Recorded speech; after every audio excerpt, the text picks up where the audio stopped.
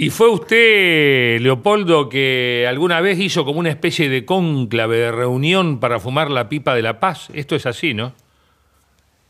¿Cómo sabe eso usted? Tengo mis informantes. Qué bueno, claro, a raíz de todo lo que venimos hablando, Sí. de todas esas cosas que eh, decía Piazzolla esto y Piazzolla hablaba en en para una revista especializada y contestaba y mandaba, mandaba mensajes para la gente que, lo, que le daba con todo. Un día me viene a ver Atilio Talín, que era el, el apoderado, el representante de Piazzolla. Sí. Yo estaba ahí en la asociación de, de intérpretes y vino. Me dice, Leopoldo, ¿cómo, ¿cómo podemos hacer para terminar con este asunto de, de la pelea, de que Astor diga esto y que le contesten lo otro? Esto no le hace bien ni a él, ni al tango, ni...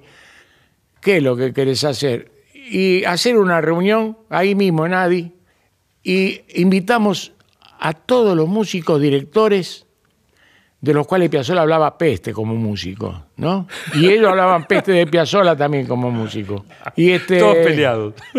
¿Cómo, hacemos? ¿A quién le avisamos? Y digo, yo no tengo reparo en decirlo. Por ejemplo, bueno, a De Angelis. Yo le decía a De Angelis que Piazzolla, va- vamos a reunirnos, me va a mandar al diablo, que yo... Bueno, vamos, vamos a empezar. Y lo llamo a Alfredo, que tenía, yo tenía muy buena onda con él. Hab- Le hablaba hasta con miedo, porque digo, este me va a mandar al diablo, todavía se va a enojar conmigo. Le digo, mirá, estamos pensando, ¿viste lo que pasa con Ator, que dijo esto, que el tango La Comparsita es el peor tango, que el otro...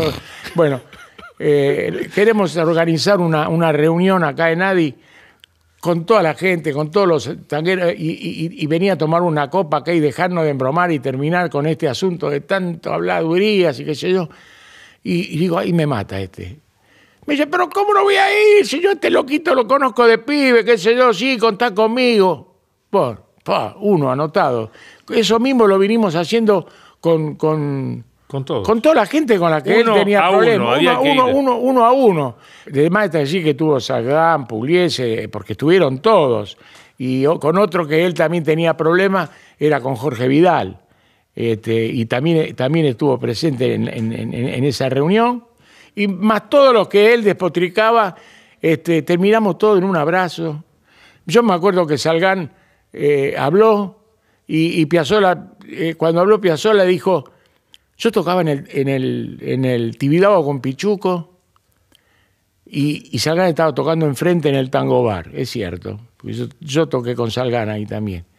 Dice, si supiera las veces que me crucé para escuchar algunos de sus arreglos y alguna cosa le afané, dijo él, ¿no? Bueno, haber- Ah. haber dicho eso, Piazzolla, yo creo que, que Salgán casi se muere de, de- no sé, de este, fue una, un aplauso y, y a partir de ese momento, entre los músicos, si usted hace memoria, no, no, no se dijo nunca más nada. Nadie, nadie más lo criticó a él, ni él habló mal de nadie. Pero qué buena la historia porque además la moraleja parece ser que todos en el fondo se admiraban unos a otros.